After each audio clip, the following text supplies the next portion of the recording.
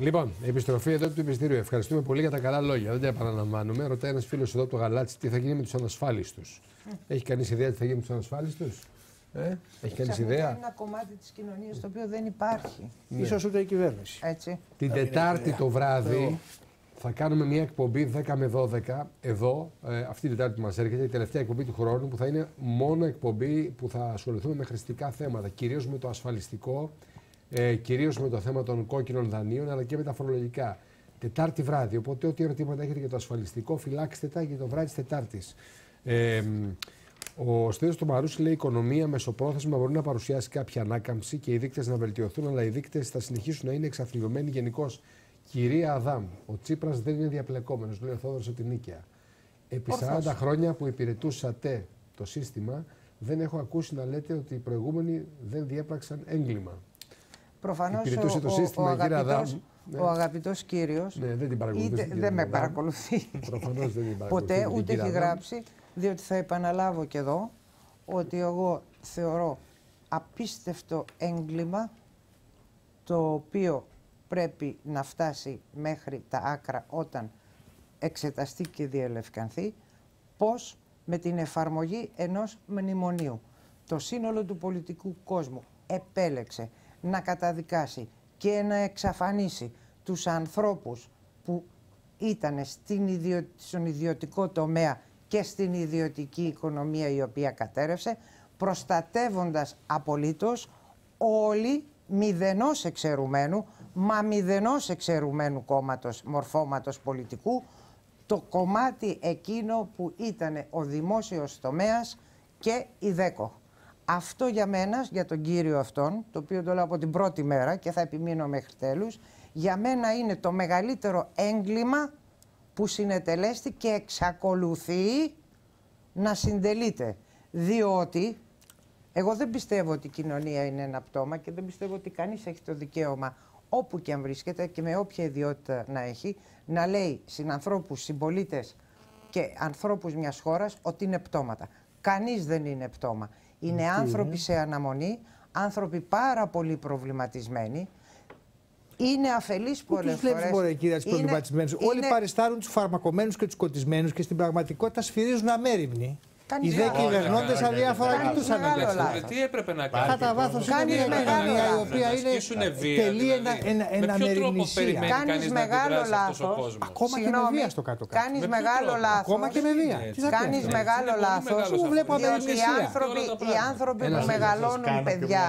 Όχι, όχι, όχι, ένας ένας. Παιδί μου, δεν είναι θέμα με και Οι εγώ άνθρωποι- μεγαλώνω παιδιά και έχω βιωτικές ανάγκες. Εγώ βλέπω μια αμεριμνησία σε σχέση με τη συνείδηση του προβλήματο, με το πραγματικό μέγεθο και την ουσία του προβλήματο, με τι προοπτικέ, με το μέλλον. Βλέπω μια αμεριμνησία. Δεν Βεβαίως, υπάρχει αγωνία έχω και αμεριμνησία. εγώ. Δεν Παιδί ανα- υπάρχει αμεριμνησία. αναφέρω. Δεν Υπάρχει, υπάρχει καμία πολύ αμεριμνησία. μεγάλη Σφαίρος περίσκεψη. Εγώ με Δεν συγχωρείτε, νομίζω βλέπω, ότι βλέπω βιωτική αγωνία, καθημερινή, μεγάλη καθημερινή περίσκεψη. ανησυχία, Βεβαίως. αλλά αμεριμνησία σε σχέση με τον τόπο και το πρόβλημά του. Όχι. Δεν ασχολούνται Όχι. με το θέμα. Όχι. Περιμένω Αλέξανδρε, ότι θα εάν έρθει εννοείς κάπως να- η να- λύση κάποια στιγμή. Τι Εάν εννοείς- παρακολουθήσει, Αλέξανδρε, συγγνώμη κύριε. Εάν παρακολουθήσει, Αλέξανδρε, το διάλογο που γίνεται στα social media, διότι καλός ή κακός η αγορά σήμερα της Συγχωρείς τώρα, δημοκρατία σε αυτά μας τα- είναι αυτός ο χώρος. Μπράβο. Στα social media εκείνο που Διότι βλέπω δεν είναι υπάρχει. στρε, στρεβλές νοοτροπίες, στρεβλές νοοτροπίες, ανθρώπους αλλού για αλλού που πιστεύουν που πιστεύουν ό,τι μπορείς να φανταστείς, από συνωμοσιολογίες, από εξωγήινους, από αυτούς. Το μόνο που δεν βλέπουν και δεν θέλουν να, συ- Όχι, να ναι, συζητήσουν όχι. είναι το πρόβλημα. Πώς φτάσαμε ως εδώ, ποιος φταίει, ποιοι είναι οι υπέτειοι. Ναι, μέσα από όλα αυτά Ακόμα που τα βλέπεις, επιδόματά μας, μέσα κλαίμε από και όλα τα αυτά πελατειακά που- μας που προνόμια. βλέπεις, δεν αναγνωρίζεις μια αγωνία Όχι, δεν και ένα αναγνωρίζω τίποτα. προβληματισμό. Αναγνωρίζω μια στρέβλωση της κοινωνίας, Υπάρχει μια τεράστια παραμορφωμένη αγωνία. αντίληψη, η οποία Αν μου ε- έχει επιτρέπεις, εκτραφεί αν μου χρόνια και χρόνια επιτρέπεις, τώρα. Η κοινωνία Ναι. έχει δύο ταχύτητες και δύο επίπεδα.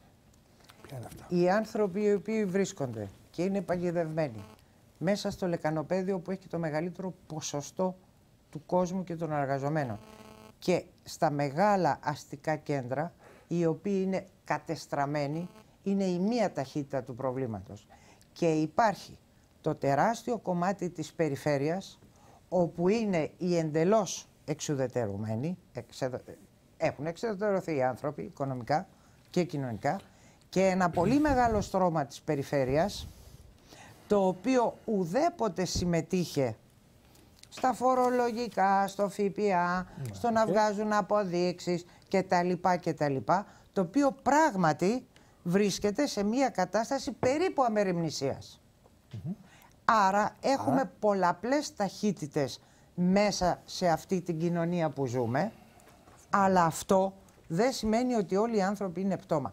Όταν βρίσκεσαι σε μια εξαιρετικά μεταβατική περίοδο, η οποία δεν έγινε μετά από συνδυτοποίηση των πολιτών, εκεί θα συμφωνήσω μαζί σου, αλλά επήλθε βιαίως, διότι σου ήρθε ένα μνημόνιο στη Μούρη, το οποίο δεν ήξερες τι να το κάνεις και έβλεπες την άλλη, τη μία... Αυτό ήταν από το κοντοπαθογενειώδες. τι να το κάνεις. Συγγνώμη, όχι, δεν ήξερες τι να το κάνεις. Άλλες Όχι, κοινωνίες ξέραν. όχι, Όχι, δεν από ήξερες τι να το κάνεις. Η, η κρίση ήρθε και το επιβάρυνε.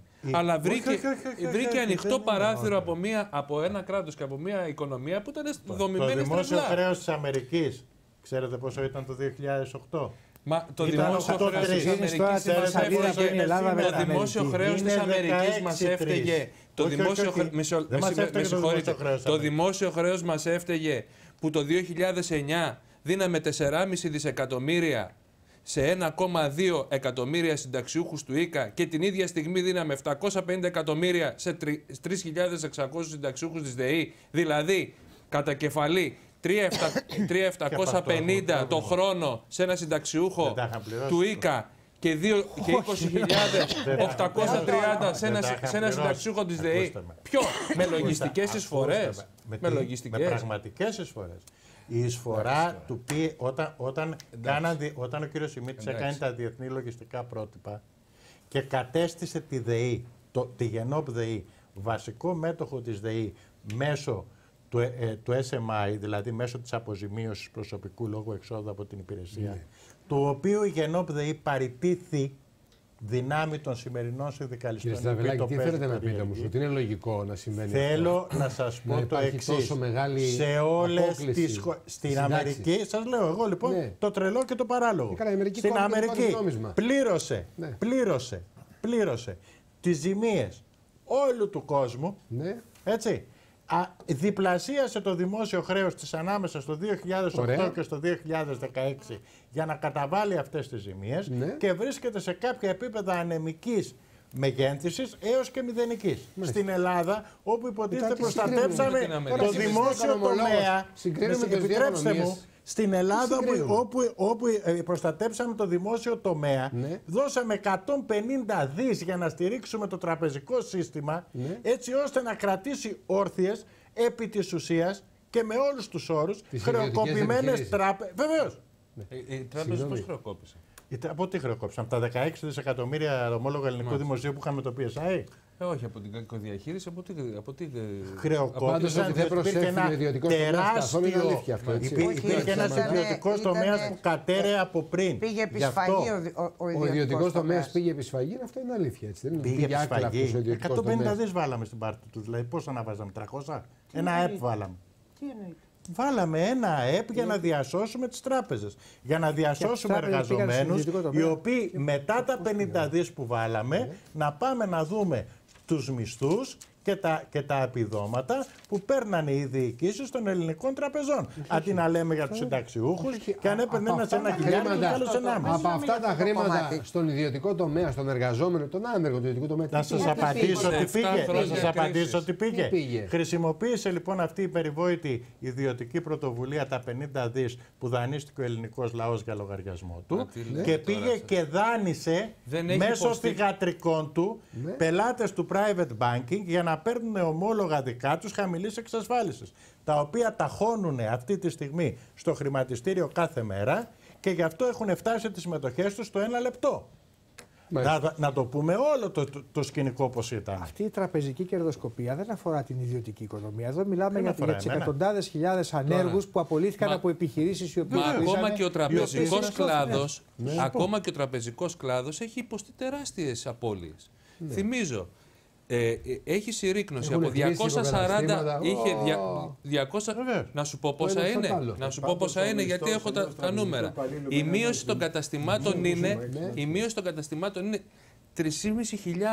Έχουν κλείσει 3.500 έχουν κλείσει καταστήματα. 3.500. Πώς Από τράπεζες και 7.715 έχουν μείνει Τα μισά περίπου. 4.200. Περίπου τα μισά έχουν μείνει. Το δε έτσι. προσωπικό έχει Σε πόσο απολυθεί, καιρό; έχουν απολυθεί 50.000 τραπεζοϊπάλληλοι. 25.000 στο εσωτερικό, 25.000 στο εξωτερικό. Δεν έχει υποστεί ε, πλήγμα ο τραπεζικός κλάδος. Φυσικότατα. Τι Όταν συζητάμε. φτάσαμε να Ποιο- έχουμε 25 τι είναι αυτή, τράπεζες, 25.000, όταν 50.000 τι κατέρευσε είναι; όλη η παραγωγική δεν είναι, βάση δεν της είναι οικονομίας. νοικοκυριά, δεν Να είναι σας απαντήσω. οικογενειάρχες Φυσικά αυτοί. και είναι οι άνθρωποι. Μάλιστα. Εγώ δεν μιλάω για τους εντάξει. εργαζόμενους. Εγώ σας ξαναλέω ότι αυτή τη στιγμή, οτα- όταν φτάσαμε στην Ελλάδα να έχουμε 25 τράπεζες, κατέρευσε όλη η βιομηχανική μας βάση τη δεκαετία του 80 και μπήκαμε στην Ευρωπαϊκή Ένωση στείνοντας μια οικονομία υπηρεσιών στο πλαίσιο της ισχυρής Ελλάδας. Αυτό δεν ήταν κομμάτι του δημοσίου τομέα. Ήταν ένας σχεδιασμός που αφορούσε καθαρά. Αν θέλετε, πολύ πίσω τώρα, Ο- εντάξει, Μα με πάμε συγχωρείτε πολύ πολύ. πίσω. Πάμε, Όταν μου Ωραία, λέτε ποιος εντάξει. μα έφερε Την εδώ, επόμενη μέρα τι θα σήμερα, κάνουμε στο τώρα; σήμερα. Τι θα Λοιπόν, κάνουμε; να Θα, πούμε την ποιος αλλα- μας θα το έφερε. αλλάξουμε το Όπα, μοντέλο όπα, αυτό; όπα, όπα, για να μιλάνε όλοι αν παρακαλώ. χρειάζεται, γιατί όχι. Εγώ να- Παρακαλώ, ναι, ναι. Να, να πω δύο Ναι, λόγια. κύριε Πρώτα Λεβέντη. να κάνω μια μικρή τοποθέτηση στο ασφαλιστικό. Ναι, το για ασφαλιστικό, πέστε οποιοδήποτε ρυθμίσει και αν έρθουν, Ναι. οποιαδήποτε νόμοι και αν περάσουν, εάν δεν ανοίξει ο τομέας της εργασίας, θα τα ξανά έχουμε άμε- άμεσο πρόβλημα. Και πώς θα ανοίξει. Αυτό είναι ένα, ένα, ένα ουσιαστικό θέμα. Δηλαδή, α, σήμερα έχουμε 1,5 εκατομμύριο ανέργους. Το έχω ξαναπεί εδώ πέρα στην εκπομπή μου, φαίνεται. 1,5 εκατομμύριο περίπου ανέργους.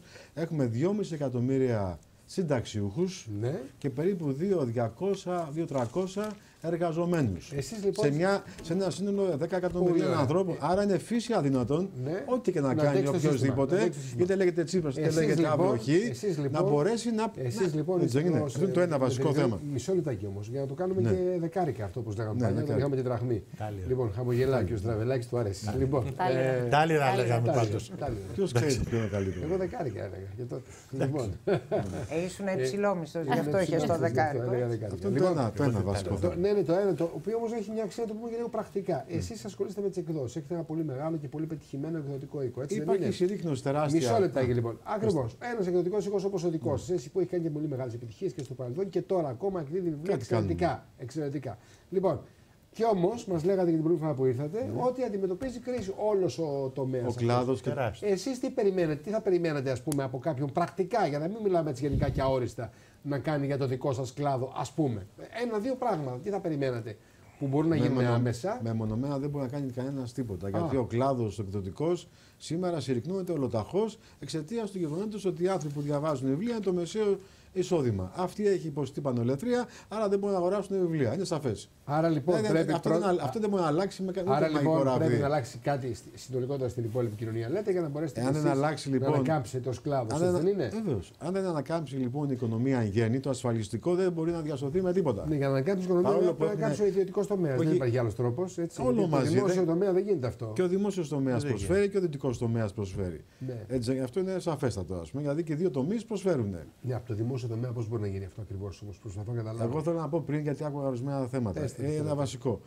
Ότι μπήκα, η Ελλάδα είναι η χειρότερη από όλες τις περιπτώσεις. Διότι μπήκαμε, υπεγράφει ένα μνημόνιο το 2010 τον Απρίλιο. Τον, πότε υπογράφει, τον Μάιο. Τον Μάιο, Μάιο. υπεγράφει. Εδώ θα μπορούσε η χώρα, χωρίς μνημόνιο, να πάρει όλες τις διορθωτικέ αλλαγές ή μεταρρυθμίσεις που μας λένε αυτοί απ' έξω. Δεν θέλαμε. Έτσι δεν είναι. Δεν Εδώ ήθελε λοιπόν κανένας θέλω να να το τονίσω κάνει το αυτό. εξής: Ότι ζούμε πάλι έξι χρόνια μιας τεράστιας περιπέτειας οικονομικής κατάρρευσης των πάντων.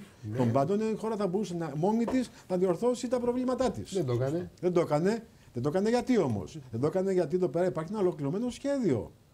Υπάρχει σχέδιο. Τώρα- Το οποίο προέρχεται προφανώς απ' έξω στη συνεργασία με τους μέσα. Τώρα- Αυτό θέλω να το τονίσω και να το πω. Και πρέπει να το λέμε συνέχεια για να κατανοούμε Ναι. τι δυσκολίες που αντιμετωπίζει η σημερινή κυβέρνηση, εν πάση περιπτώσει. Γι' αυτό, γι' αυτό επανέρχομαι σε αυτό το Και θέμα. πώς θα αντιμετωπίζει αυτό το σχέδιο η σημερινή κυβέρνηση, λέτε εσείς; Α, αφού η πρώτη, λοιπόν, περι- η πρώτη εποχή, να το πούμε έτσι, δηλαδή η πρώτη εποχή η ΣΥΡΙΖΑ δεν μπόρεσε να εξελίξει το σχέδιο που προφανώς που συζητάγαμε πριν την κυρία Αδάμ, την κυρία Αδάμ Το πολύ φιλόδοξο. το πολύ ακριβώς. φιλόδοξο απέτυχε, μπήκε σε, ένα, σε μια τροχιά. Ναι. Και επανέρχομαι σε αυτό που έλεγα πριν, ότι αυτή τη στιγμή για τη χώρα μας είναι ανάγκη να περάσουν τα μέτρα, να έρθει και να έρθει να τελειώσει, γιατί και μετά οι ξένοι δεν μπορούν να σου πούν φέρε άλλα 3 δισεκατομμύρια. Ναι. Εν πάση περιπτώσει. Μια Γιατί θα χαρά. έχουν γίνει όλες οι Μια χαρά, μεταρρυθμίσεις. μια χαρά θα στο Δεν πούμε θα σου το αυτό. πούνε. Ω, βεβαίως. γιατί Γιατί πια δεν υπάρχει σου ένα. λυπηθούν. Δεν θα σου το Μια πούνε. Χαρά. Γιατί ποιες μεταρρυθμίσεις πια; Έχουν γίνει όλες οι μεταρρυθμίσεις. Α, να έχουν Ουδής γι- μπορεί να πει. Θα έχουν ψηφιστεί οι Θα μεταρρυθμίσει. έχουν Το να έχουν ψηφιστεί. γίνει, γιατί και οι προηγούμενες Ποιες κυβερνήσεις μεταρρυθμίσεις, ψηφίζανε ναι. Όλες οι και μεταρρυθμίσεις αμελούσαν που εννοούν. μετά στην Που εφαρμογή. εννοούν. Αυτό δεν το έχουμε Που δει εννοούν. ακόμα. Για το γάλα, ας πούμε. Το, Που το- εννοούν, οι μεταρρυθμίσεις που εννοούν. Αυτό ό,τι θέλω να είναι. τονίσω. Ότι υπάρχει ένα τέλος. Ακόμα και για τους Γερμανούς και για τον κύριο Σόιμπλε, ο οποίος απρεπώς επετέθηκε εναντίον της χώρας μας προχθές. Απρε, απρεπώς. Παλιά μου τεχνικό κοινό. ναι. Ναι, το κάνει κάθε μέρα. Κύριε Το κάνει Λιβάνη. κάθε τόσο. Βγαίνει και βρίζει Ε, στην Κύριε ισότητα τη χώρα Λιβάνη, Κύριε μα. Λιβάνη, για το συγγνώμη. Σόιμπλε Έχω- δεν υπάρχει τέλος. Για το Σόιμπλε, αν δεν αντιδράσει η οικονομία στο μνημόνιο, Ναι. αυτό συνιστά αποτυχία της οικονομίας. Και επ' αυτού έχει εκφέρει ήδη άποψη, την οποία μάλιστα την, ε- τη- με τον τρόπο του την επιβεβαίωσε και ο κύριος Παπαδημούλης με σημερινές του δηλώσεις. Δεν τις Ότι πρόσεξα, θέλει δεν τα ένα άκουσα, μικρότερο, ναι, ότι, ότι ο κύριος Σόιμπλε επιδιώκει ένα μικρότερο και ελεγχόμενο ευρώ και μία αναστολή το, το, περιβο, το περιβόητο σχέδιό του. Δηλαδή, μην θεωρείτε ότι υπάρχει τέλος. Η μία αντίδραση της Ελλάδος στο μνημόνιο, στις μνημονιακές πολιτικές, δεν είναι αποτυχία των μνημονιακών πολιτικών στα μάτια ανθρώπων όπως ο κύριος Σόιμπλε, είναι αποτυχία της Ελλάδας. Κύριε Στραβελάκη, θέλω να σας πω το εξής. Ότι ζούμε σε. Εμείς δεν είμαστε μόνοι μας. Είμαστε μια Προφανώς χώρα και που δεν ανήκει είμαστε σε ένα μόνοι σύνολο μας. κρατών, έτσι δεν είναι στην Ευρώπη. Αυτή τη στιγμή έχουμε τρομακτικές αλλαγές μέσα στην Ευρώπη. Αυτό δεν πρέπει να μας διαφεύγει. Έχουμε Ναι. αλλαγή στην Πορτογαλία, αλλαγή στην Ισπανία, αλλαγή στην Ιταλία, με- ε, αλλαγή. Έρχονται αλλαγές περίεργες στη Γαλλία και έχουμε και τους Άγγλους μεθαύριο που θα ψηφίσουν για το ναι ή το όχι στην Ευρωπαϊκή Ένωση. Πολύ σωστά. Αυτό έτσι δεν είναι. Έχω- Που δεν έχετε είναι. απόλυτο δίκιο, Δηλαδή βεβαίως. η Ελλάδα δεν είναι μια χώρα μόνη της, ένα φτερό στον κάμπο, εν πάση περιπτώσει. Ε, έρχονται Μέχρι σήμερα έρχονται είναι. αλλαγές στην Ευρώπη. Ναι, παρακαλώ. Κύριε, κύριε Λιβάνη, αν μου Λοιπόν, αυτό επιτρέπετε, θέλω να πω, αν μου, δηλαδή, ότι επέτρε- μου όταν επιτρέπετε, κάνεις- με- με- να ολοκληρώσω Ναι, ναι. αυτό το ελάχιστα. Όταν λοιπόν ε, ε, ξε- ε, έχεις την πολιτική σου, πρέπει να παίρνεις όλα αυτά στην ολότητά τους και να προχωράς. Αυτό Ε, θέλω να πω. Είναι, δηλαδή είναι για αυτό το 16, γιατί επανέρχομαι στην αρχική σας θέμα, Ναι, ναι, ναι. τι θα γίνει το 16, είναι το πιο σημαντικό, ο πιο σημαντικός, ο σημαντικότερος χρόνος αυτής της περιπέτειας που, που ζούμε. Όπως- Το 16 θα κριθεί αν η χώρα θα μπορέσει να ξεφύγει και να σταθεί στα πόδια της αισίως ή η χώρα δυστυχώς θα μπει σε μια περιπέτεια που θα είναι ατέρμονη. Μάλιστα. Όπως Λοιπόν, σας ναι, ακούω, έχει μισό βαριάσει λεπτό, ευθύνες ο Τσίπρας, Σο- η ε, κυβέρνηση Σοκράτη. Τσίπρα, εν πάση Ε, περιπτώσει. όπως σας ακούω κύριε Λιβάνη, ε, σιγά σιγά μου δημιουργείται με τρόμο η εντύπωση ότι ο ΣΥΡΙΖΑ είναι έτοιμος να ξανακάνει με άλλο τρόπο το λάθος που έκανε όλο το πρώτο εξάμεινο του 2015. Το μνημόνιο αυτό που βιώνουμε δεν είναι η μαθησιακή ύλη ενός χρόνου του δημοτικού που άντε κομμάτια να γίνει να το εφαρμόσουμε, να το παπαγαλίσουμε, να το μάθουμε απ' έξω, να το κλείσουμε, να πάρουμε το ενδεικτικό και να πάμε μετά στο γυμνάσιο. Αυτή την εντύπωση μου δίνεται και όταν λέτε ότι εντάξει ρε παιδιά, αν τα ψηφίσουμε και χάμω, να το κλείσουμε το θέμα, να πάμε να ανοίξουμε. Όχι, δεν με- Λυπάμαι πάρα πολύ. Εντάξει, Δεν αντιλαμβάνομαι πώς είναι το έτσι, θέλετε, αλλά δεν δεν είναι- δεν είναι υπάρχουν αυτά έτσι τα τα πράγματα που πράγματα. λέτε όμως. Δεν είναι έτσι Όχι, τα να- να σας πράγματα. διακόψω, Δεν διότι- κλείνουμε, δεν κλείνουμε το Κυρία μαθησιακό κεφάλαιο Κυρία Αδάμ, της επειδή- τρίτης επειδή δημοτικού εγώ δεν για να είπα- πάμε στην Τετάρτη. Επειδή όμως δεν Έτσι. είπα αυτά τα πράγματα, ούτε Το είπατε. Καταρχάς δεν εκφράζω εγώ το, Το σύντομα αυτή τη είπατε. στιγμή. Όχι. Δεν είπα αυτά τα πράγματα. Είπα ότι πρέπει να γίνουν αναγκαίες μεταρρυθμίσεις, τι οποίες μας λένε οι, οι, μας λέει η Το περίφημη ασφαλιστικό. Τρόικα. Το- Έτσι δεν είναι. Είπα αυτά τα πράγματα. Είπα να γι... Δεν είπα εγώ αυτό το πράγμα. Συγγνώμη, αλλάξατε τελείως τα λόγια μου. Όχι, δεν τα Είπα άλλαξα. ότι πρέπει, εφόσον μπήκαμε στο χορό, πρέπει να χορέψουμε, να ολοκληρώσουμε. Για τρία να- χρόνια. Να ολοκληρώσουμε για να φύγουμε μπροστά. Για Αυτό τρία είπα χρόνια εγώ. είναι το Δεν μνημόνιο. είπα εγώ αυτό το Δεν πράγμα. είναι Κύριε, μέχρι κύριε, την κυρία. άνοιξη του Κύριε, 2016 το κυρίες. μνημόνιο. Είναι τριετούς διάρκειας Λοιπόν. και κατά τη διάρκεια αυτού του μνημονίου αυτοί οι εταίροι, οι οποίοι βεβαίως σε καμία περίπτωση δεν έχουν κανενός είδους συμπάθεια ή εμπιστοσύνη προς αυτή την κυβέρνηση. Κατακτητές είναι και Βεβαίως, αυτοί. συμφωνώ απολύτως. κάνει επίθεση στη χώρα Λοιπόν, μας. συμφωνώ απολύτως. Κάθε αράδα του μνημονίου και μέσα στο 2016 και το 2017 και το 2018 είναι ικανή, είναι ικανή και εκεί δεν υπάρχει αντίδραση και αντίσταση αυτή τη στιγμή να σου φέρνει και άλλα μαθησιακά παιδεία γιατί τελείως δεν θα Λοιπόν, περάσει στην μια επόμενη τελεία τάξη. Εδώ παρακαλώ. Επειδή δεν είναι Η Κύρα γραμμικό. έβαλε ένα θέμα πολύ σοβαρό, το οποίο δεν το έχουμε συζητήσει καθόλου, το προσφυγικό και είχε εδώ η ειδησιογραφία. Τι λέει για την Μυτιλίνη η Λοιπόν, ειδησιογραφία. να πούμε ότι περίπου 2.500 πρόσφυγες φτάνουν καθημερινά στη Λέσβο, σύμφωνα με πληροφορίες. Επίσης, ε, μ, όπως ε, αναφέρουν εδώ πέρα πηγές της αστυνομίας, περίπου 4.000 άτομα βρίσκονται στην αναμονή προκειμένου να περάσουν ε, από τα κέντρα πιστοποίησης, τα hot spot τα περίφημα. Ε, και καταγράφονται δυστυχώς και πολλά περιστατικά προσφύγων με ε, κρυοπαγήματα στα πόδια λόγω του ότι βρισκόμαστε σε. Ε, πλέον μπαίνουμε στο Δεκέμβριο. καταχύμωνο. Λοιπόν, θα πάμε στο διάλειμμα και θα γυρίσουμε και θα προσπαθήσουμε να πάμε μια σύντομη βόλτα μέχρι τη Χίο, να δούμε τι κατάσταση που επικρατεί εκεί και να κουβεντιάσουμε λίγο για το προσφυγικό, γιατί είναι σοβαρό το θέμα. Τι είπατε, κύριε Σταυρίδη. Α, πατρίδα, τυχείο. Από τυχείο είστε. Το λησμόνισα, συγγνώμη. Σε δύο λεπτά επιστρέφουμε.